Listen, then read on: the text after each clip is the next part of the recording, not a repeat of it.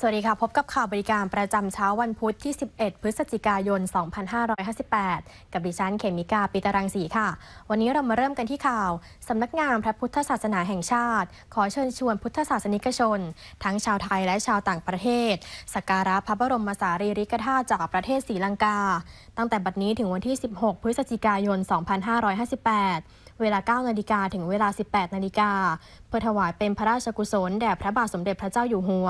และสมเด็จพระนางเจ้าพระบรมราชินีนาถและเนื่องในโอกาสที่สมเด็จพระเทพรัตนราชสุดาสยามบรมราชกุมารี ทรงเจริญพระชนมายุครบ 60 พรรษารวมทั้งในโอกาสครบรอบ 60 ปี การสถาปนาความสัมพันธ์ทางการทูต ระหว่างราชอาณาจักรไทยกับสาธารณรัฐสังคมนิยมประชาธิปไตยศรีลังกาค่ะ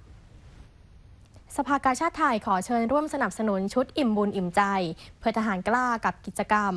แรลลี่การกุศลรวมใจให้กาชาติครั้งที่ 15 ระหว่างวันที่ 21 ถึง 22 พฤศจิกายน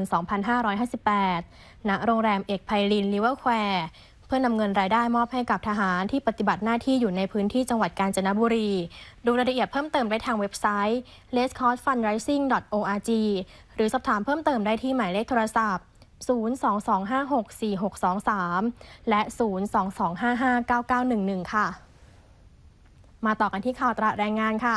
คณะนิติศาสตร์ มหาวิทยาลัยธรรมศาสตร์ท่าพระจันทร์รับสมัครลูกจ้างชั่วคราวงบคลัง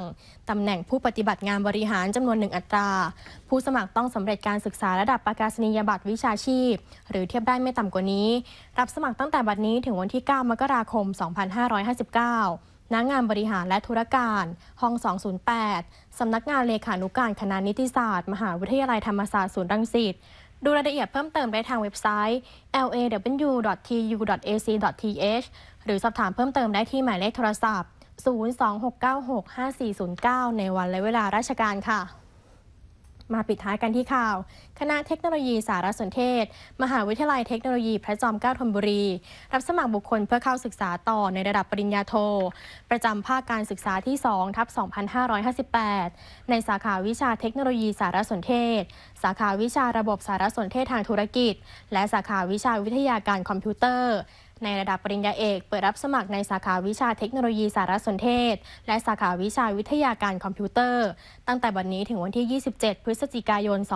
2558 ดูรายละเอียดเพิ่มเติมได้ทางเว็บไซต์ sit.kmutt.ac.th หรือสอบถามเพิ่มเติมได้ที่หมายเลขโทรศัพท์